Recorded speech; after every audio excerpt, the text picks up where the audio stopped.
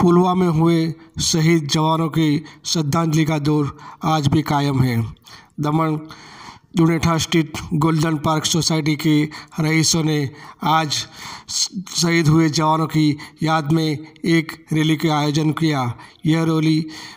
दुनेठा से निकल के मसाल चौक पर पहुँची थी। पाकिस्तान! वीर जवान! अमर रहे। वीर जवान!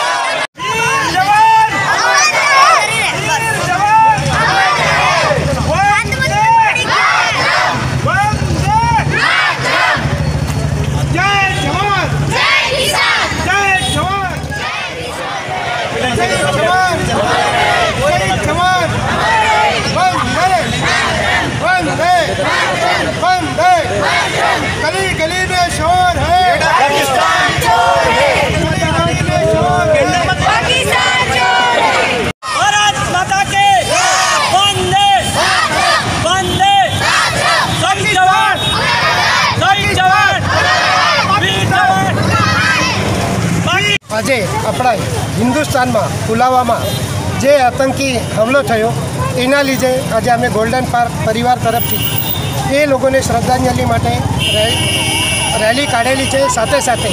અમારા જવાનોને શાંતિ મળે. સાથે સાથે આજે પાકિસ્તાનમાં, પાકિસ્તાન તરફથી આપણા ઉપર જે આતંકવાદ થાય છે, એનું નાયનાટ થાય એના લીધે આપણી સેનાને જેટલી થાય એટલી અમારા તરફથી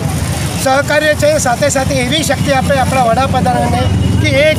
જલ- જેટલું જલ્દી થાય એટલું જલ્દી આતંકવાદનો ખાત્મો થઈ જાય અને આપણું હિન્દુસ્તાનનું વિજય હંમેશા સારું રહે એના માટે અમારા ગોલ્ડન પાર્ક પરિવાર પરિવાર તરફથી અમે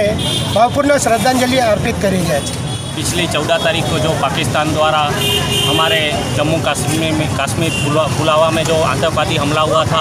उसमें हमारे वीर जवान जो शहीद हुए थे बयालीस जैसे उनकी आत्मा के शांति के लिए और उनके परिवार पे जो